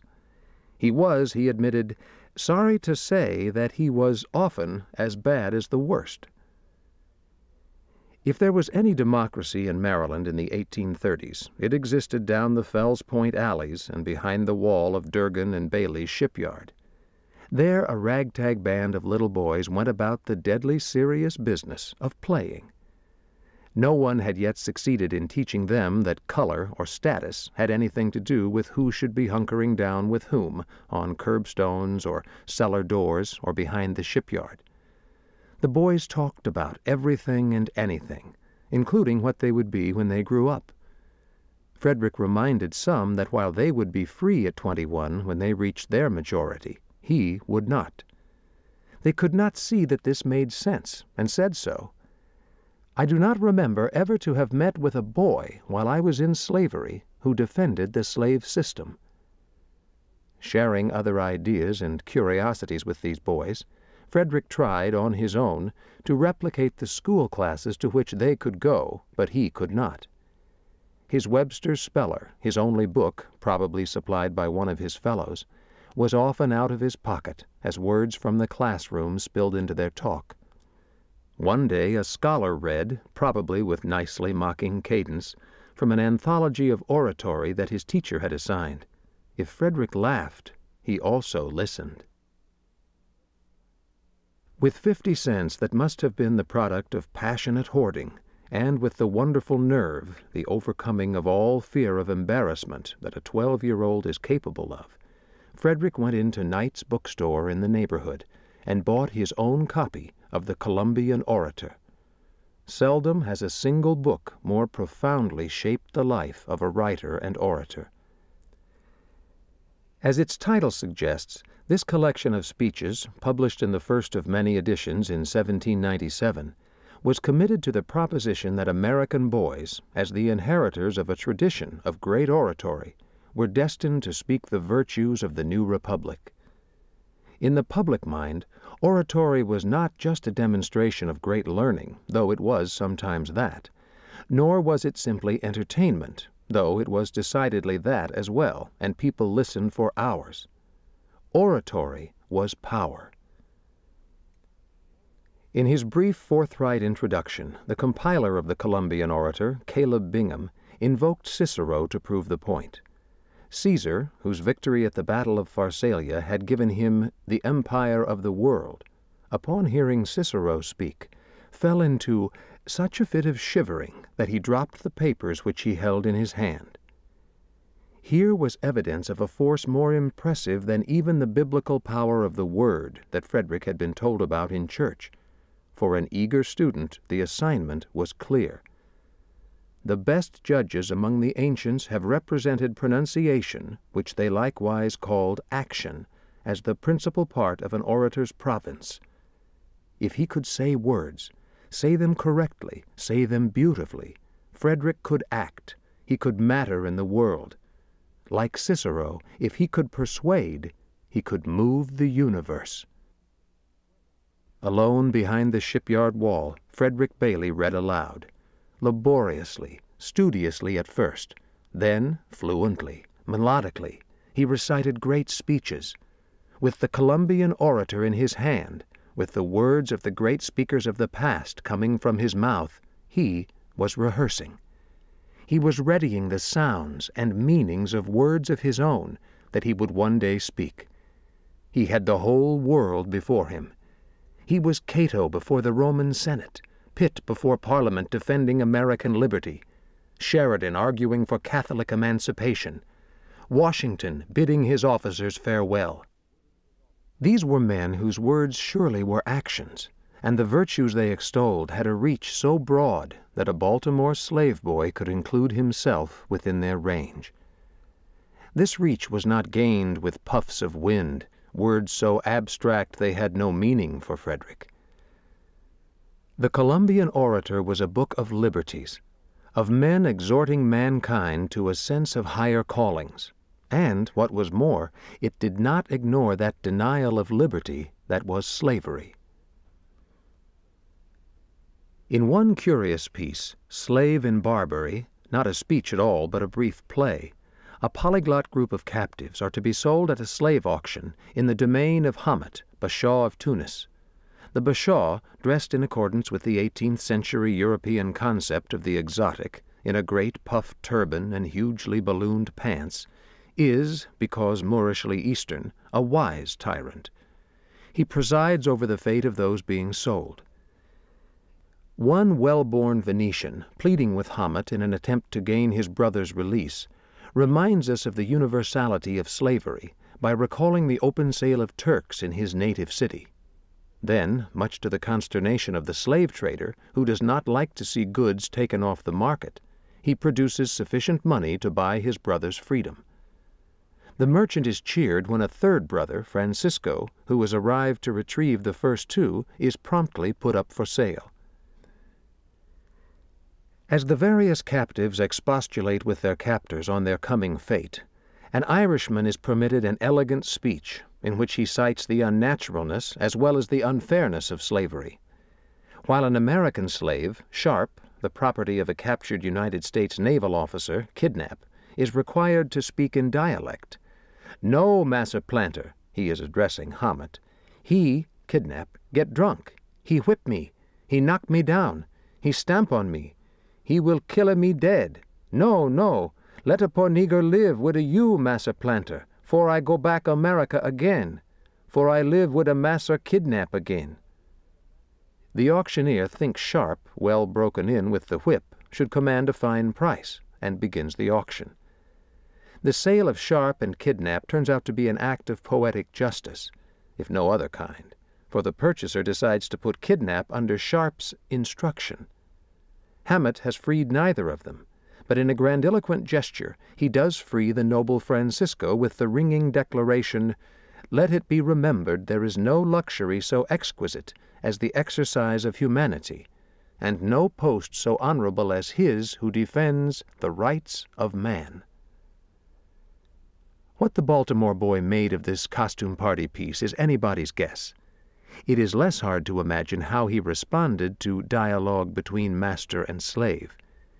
It too deals not with the ending of all of slavery, but with the extrication of one individual from bondage. But in doing so, it confronts philosophical problems raised by slavery that have concerned thinkers as far back as Aristotle. In a classically structured exchange, from which Douglass could quote decades later, the master says he has been kind and that the slave should be grateful. The slave replies that kindness is irrelevant, that he wants liberty. The master then says, Suppose I were to restore to you your liberty, would you reckon that a favor? The slave answers, The greatest. I do it then, says the master, be free. But instead of a hymn of gratitude, the master, standing for all masters, is treated to a warning. Now I am indeed your servant, though not your slave, and as the first return I can make for your kindness, I will tell you freely the condition in which you live. You are surrounded by implacable foes who long for a safe opportunity to revenge upon you and the other planters all the miseries they have endured. the more generous their natures, the more indignant they feel against that cruel injustice which has dragged them hither. You can rely on no kindness on your part to soften the obduracy of their resentment. Superior force alone can give you security. As soon as that fails, you are at the mercy of the merciless. Such is the social bond between master and slave. Nothing of this was lost on the Baltimore slave. Echoes of this valedictory would ring out over Frederick Bailey's master, Thomas Auld, in the days and decades to come. After Lucretia's death, Thomas gave up the store in Hillsboro, broke all save one of his ties to the Anthony family.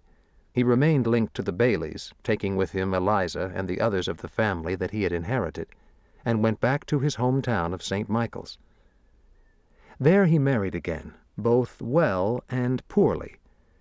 Rowena Hambleton was the daughter of a prosperous farmer living five miles west of the little port.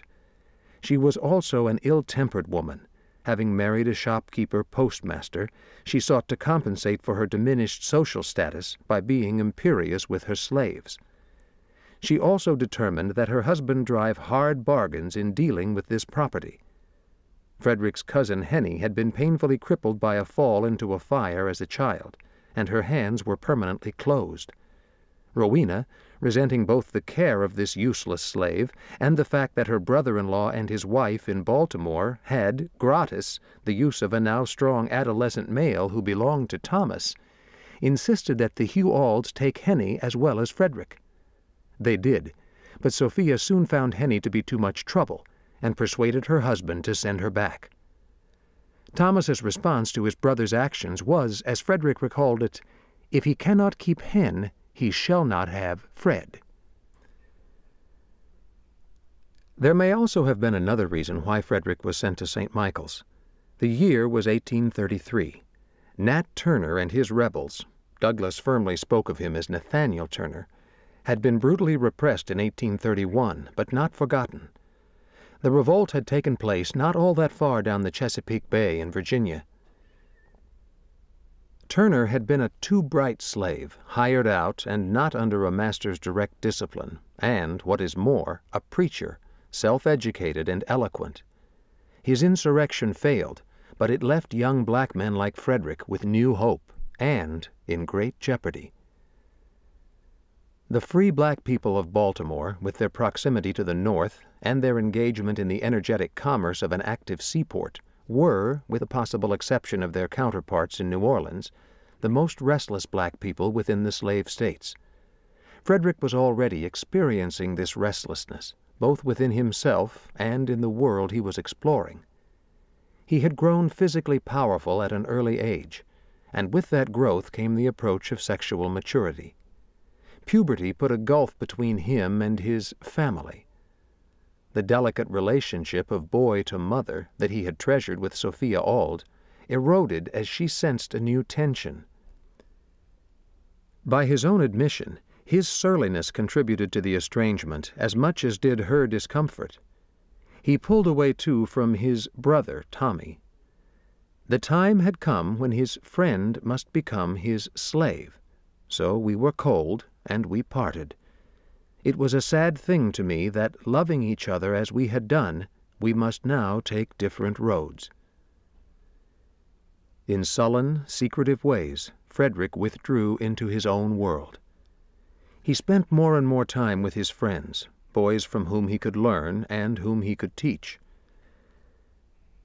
As his voice croaked and descended into the resonance that was to characterize one of the great instruments of the nineteenth century, he put it to dangerous use.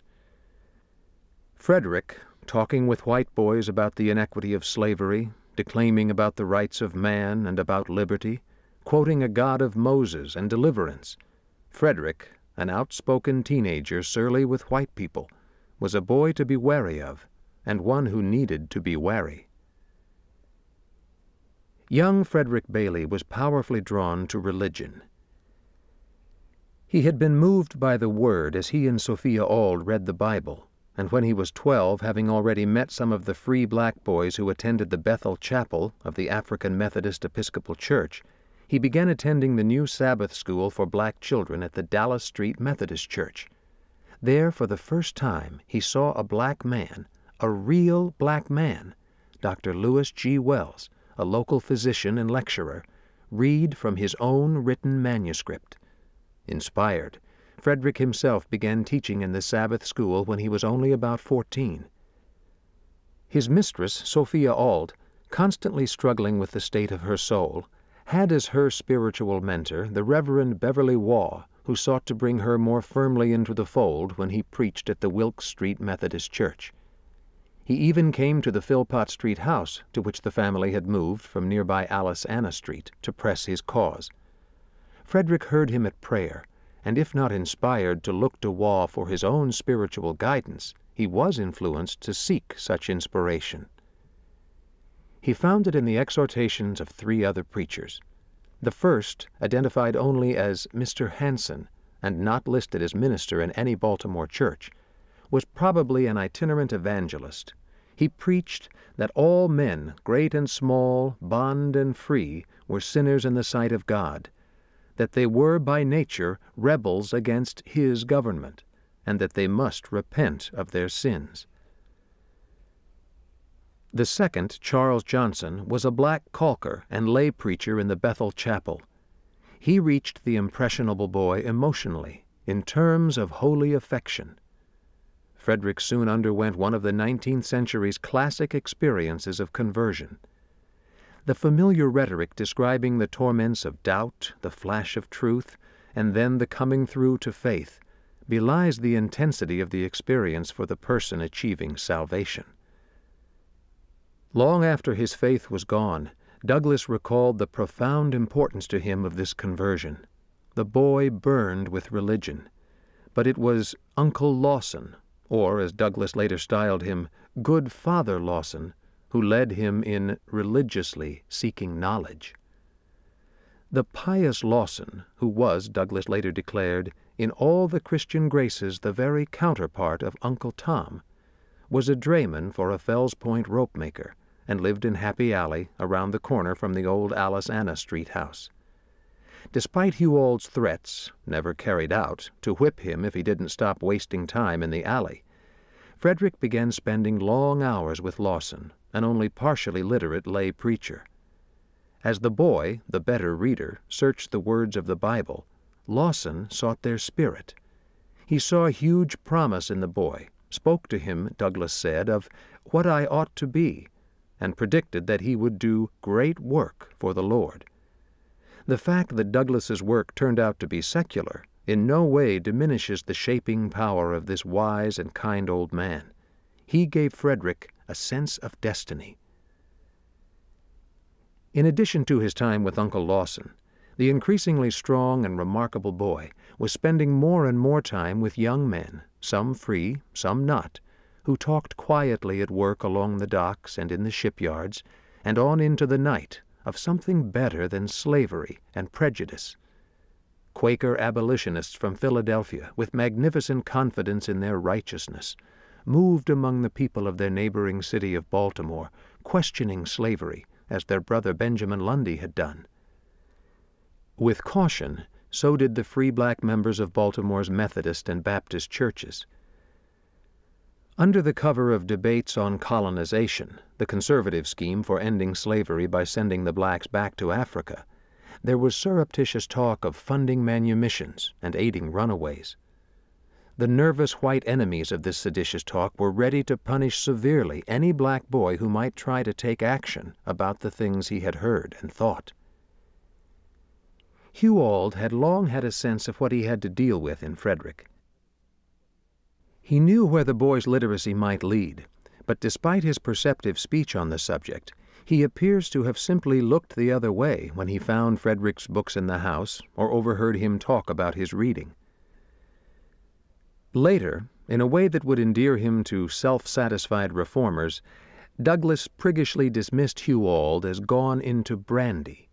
But brandy would not necessarily have prevented him from being a trenchant observer, and, perhaps, protector. Hugh's decision to return Frederick to Thomas, then, may have been more than a reaction to the family quarrel.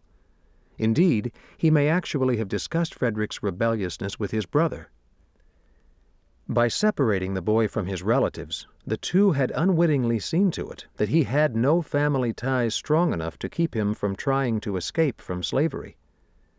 They must have realized that the bright, big, unsubmissive, unhappy boy was likely to try running away, or might get involved in anti slavery or other forbidden activities that could easily lead to a slave's death. The Aulds may have reasoned that the boy, becoming a young man, would be safer out of Baltimore and back on the eastern shore, living like any other ordinary field hand slave. When he had just turned fifteen, but thought he was sixteen, and seemed larger, older, wiser than his age, Frederick Bailey was sent from Baltimore, not back home, but to a new place and into what two well meaning white men may have thought to be the safety of rural slavery. In March 1833, he was told he was going back to Thomas Auld and was put on a boat for the rundown port of St. Michaels.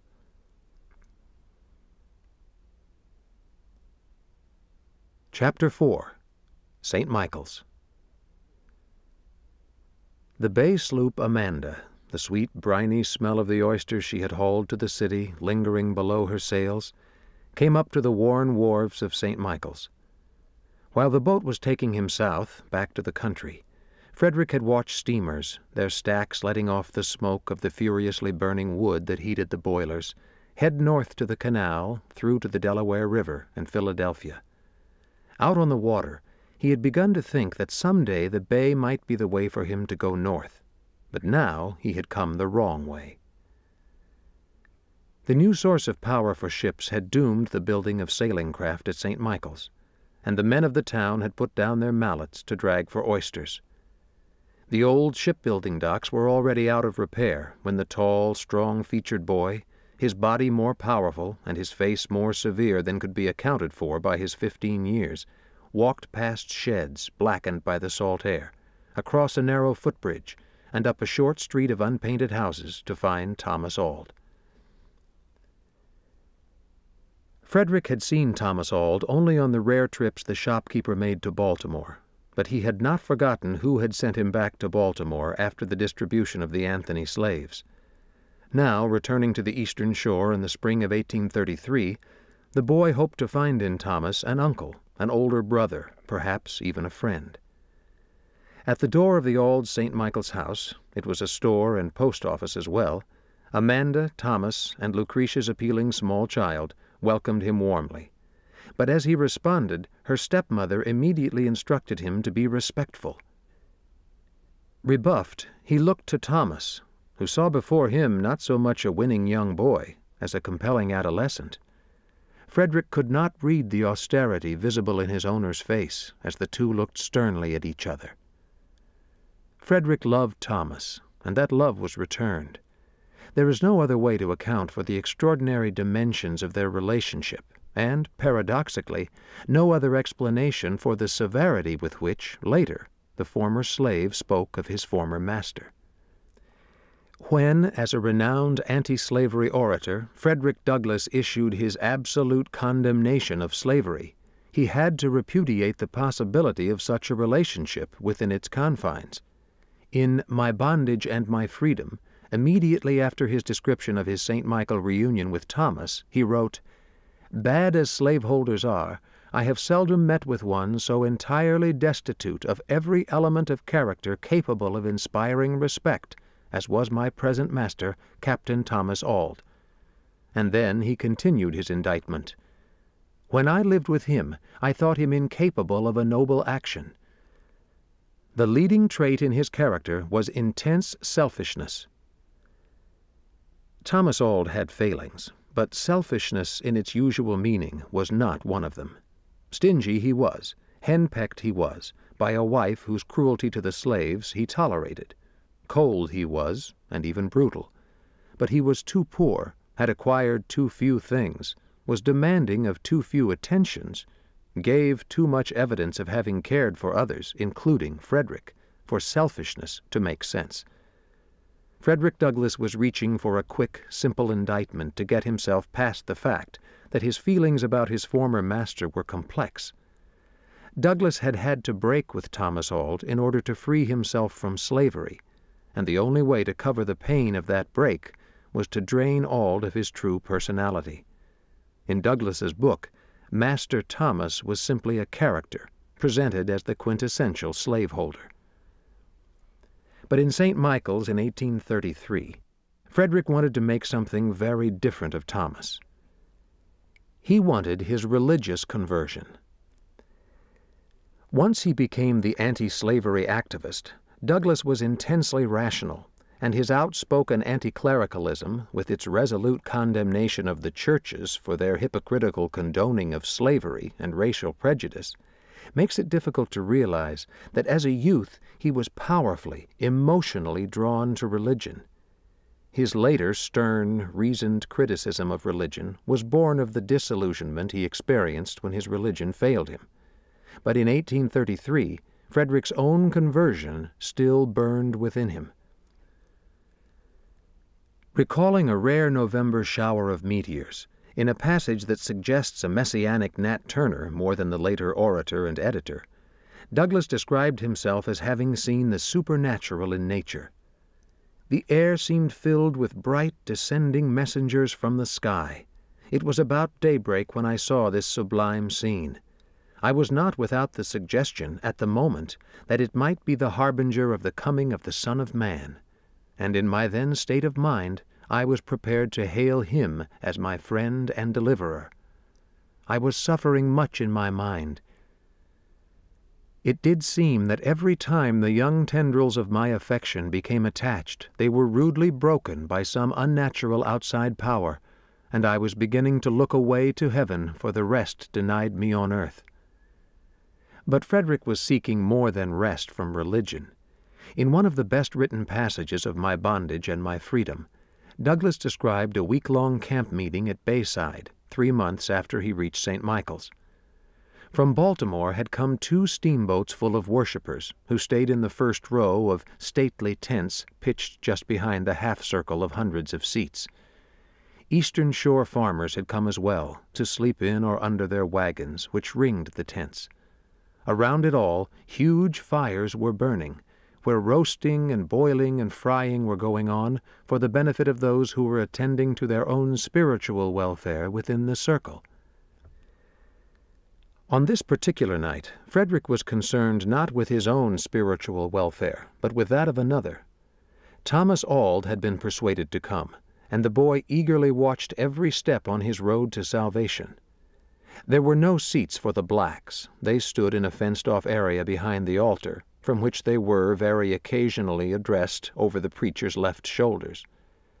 Directly in front of the exhorters was a pen filled with straw, into which as many as a hundred mourners could throw themselves on their knees to experience conversion.